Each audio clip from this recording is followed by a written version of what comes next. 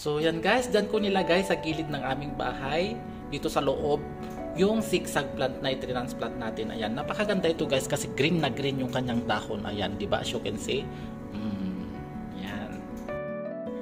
Hello guys, good afternoon. So to this video guys, i-share ko sa inyo yung itra-transplant nating zigzag plant. So itong zigzag plant guys, uh, maganda ito sa loob ng bahay. So yung uh, indoor plant ko ngayon na aloe vera, ililipat ko na doon sa plant box doon sa likod para dadami siya. Kasi marami na yung anak-anak guys. So, mas mainam maluwang yung uh, pagtataniman para dadami yung kanyang anak. So, let's start guys. I-share ko sa inyo yung aking zigzag plant. Ayan.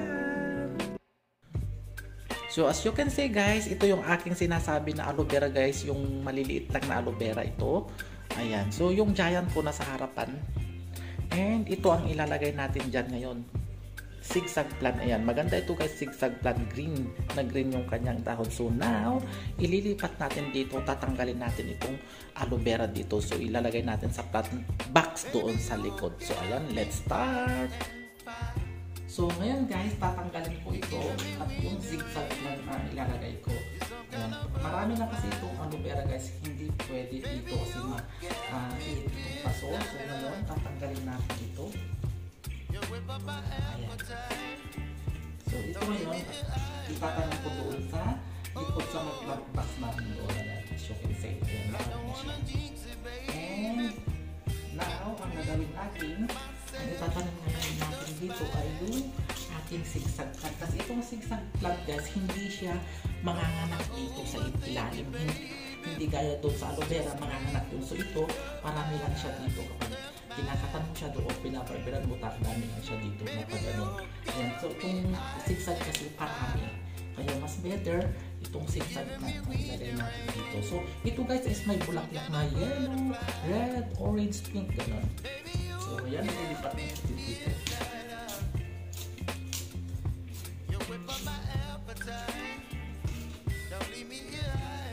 Bawasan natin yung lupa. Dito ako sa loob nag-transplant guys kasi uh, nandito naman sa loob itong plant ko na ito.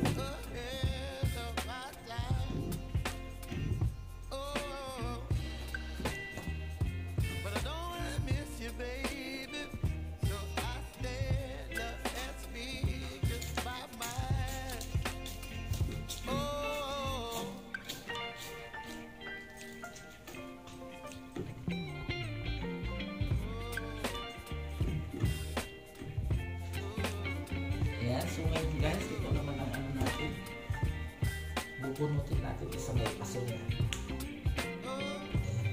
Hindi siya.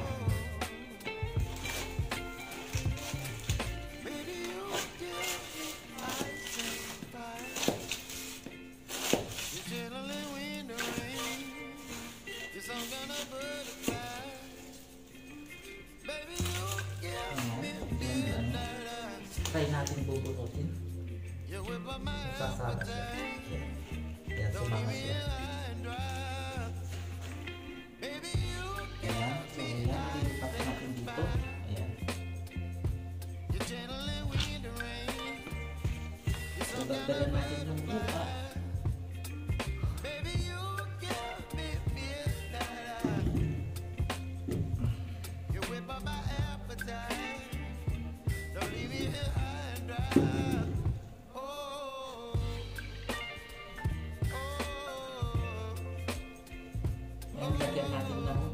pickles or yung white uh, stone.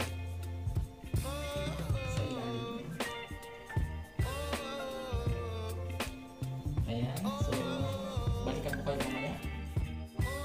So, so now, ngayon maglalagay tayo guys ng white stone para maganda. Ito sa palibot.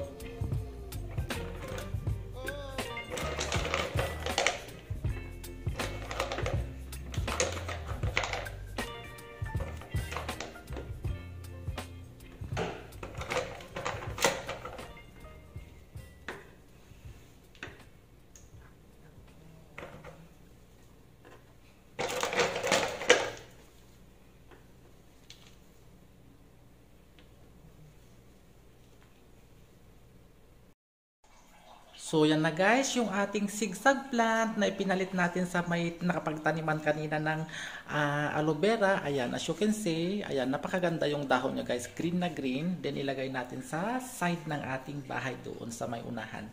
Ayan. Mm. Ayan, so yan lang guys ang ating video for today sa ating transplanting ng ating zigzag plant. Ganda, di ba? Bye-bye! Thank you for watching!